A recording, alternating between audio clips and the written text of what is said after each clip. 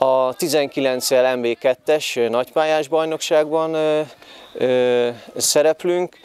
Az U16-os csapatunk az idéntől egy szűkített pályás, 3-4-es pályás bajnokságban vesz részt. A legkisebbeknek meg remélhetőleg jövőre fogjuk a bajnokságot elindítani. Ott is várjuk a jelentkezőket, illetve hát a többi korosztályba is szeretettel várunk minden, minden érdeklődőt, minden olyan, olyan lányt, aki szeretné magát kipróbálni a, a zöldjepen.